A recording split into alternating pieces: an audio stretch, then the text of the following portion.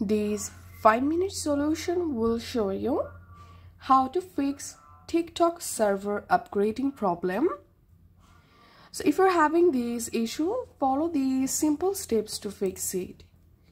The first solution is you have to clean your TikTok storage or you can uh,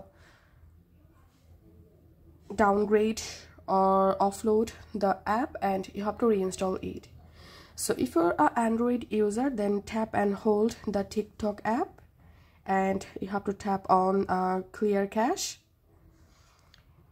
And then clear your tiktok cache. After that check the issue. The second solution is update your tiktok app.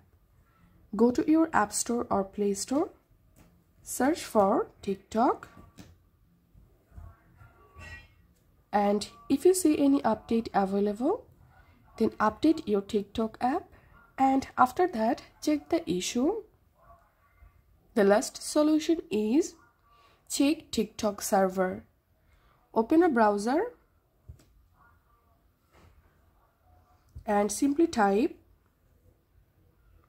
downdetector.com and here tap on the search icon and type TikTok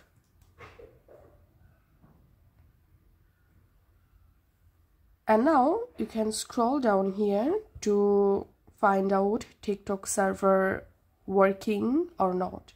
If TikTok server down you have to wait until it fix. If you find this video helpful make sure to subscribe 5 minute solution.